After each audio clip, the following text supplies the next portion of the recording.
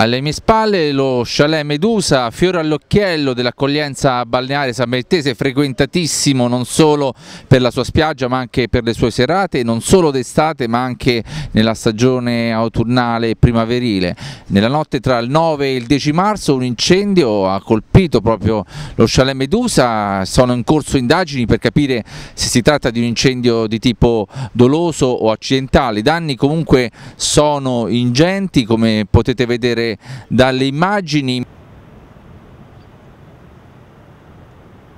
Immediatamente dalle prime ore della mattina di lunedì 10 marzo la notizia si è sparsa immediatamente in tutta San Benedetto, tantissimi San Benedettesi stanno accorrendo davanti all'Oceano Medusa per vedere quello che è accaduto.